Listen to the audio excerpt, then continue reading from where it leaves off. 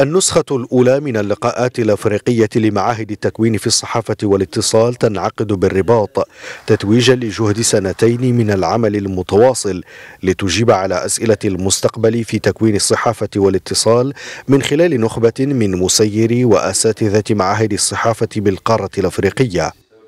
هذه المبادرة المبنية على الرؤى الوطنية والتي من خلالها سنحاول أن يكون لنا في المستقبل نموذج للتكوين الإعلامي والتواصلي آه، نموذج إفريقي متميز يمكن من خلاله من خلاله للمغرب أن يتقاسم مع شركاء الأفريقيين رؤيته للتكوين وكذلك تجربته الطويلة التي امتدت على أكثر من نصف قرن من الزمن. هذا اللقاء الذي يجمع نخبة من آه، مؤسسات التكوين آه، في مجال الإعلام الإفريقية.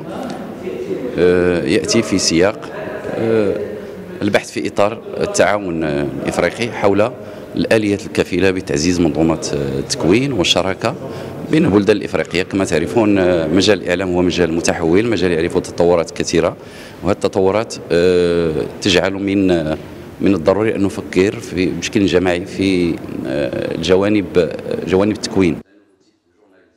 المشاركون يضعون نصب أعينهم هدف تقوية التعاون الأكاديمي بين المعاهد الشريكة واستغلال الفرص المتاحة لتحسين جودة التكوين للطلبة والأساتذة. وهي دعوة للعمل معا من أجل نموذج للتكوين في الإعلام والاتصال يواكب مسار التنمية بالقارة الأفريقية.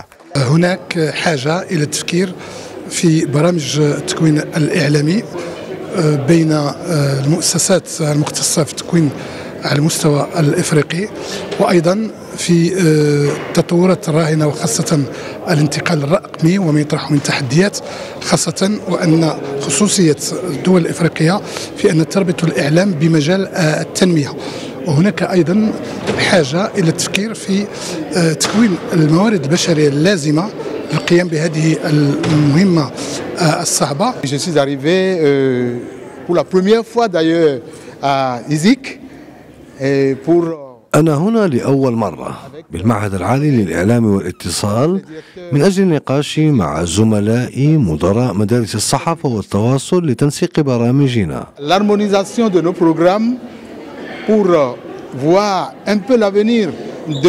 واستشراف مستقبل تكويننا في علاقته بوسائل الإعلام خاصة وبكل ما له علاقة بالعالم الرقمي. اللقاءات الأفريقية يراد لها أن تكون موعدا سنويا لمدراء وأساتذة معاهد الصحافة والاتصال لتوحيد وتنسيق الجهود الساعية لإنضاج التكوين في سياق يعرف حضور فاعلين جدد على مستوى مواقع التواصل الاجتماعي والتي في كثير من الأحيان لا تحكمها ضوابط مهنية ما يتطلب مسايرة هذا التطور على مستوى التكوين الأساسي والمستمر.